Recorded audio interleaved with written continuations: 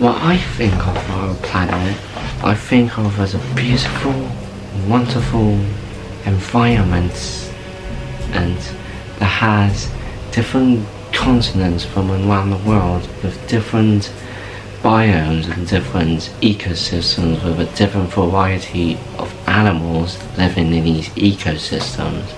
Let me tell you some of those ecosystems that dinosaurs once patrolled our planet. And in our skies, pterosaurs like Ornithocheirus can control the landscapes by flying their massive wings to join with the males and the females in order to breed. And from the landscapes of the North American ecosystems, crested animals like Parasaurolophus communicate their herds with their massive head crests for sexual display to the females. From the swamps of Africa, animals like Spinosaurus controls our ecosystems. And in our oceans, creatures like Ophthalmosaurus can control their ecosystems with giant pliosaurs like, Pleurodon, and on land, creatures like Eustreptospondylus can live in our islands of Europe in the Jurassic period. And a lot of these animals have the capability to survive on the air, the land, and the water. They all share their ecosystem with different predators and prey in order to survive their own worlds. But what I'm about to show you is the story of a Cryolophosaurus named Cryolopho, aka this is the story of Alaska's last frontier.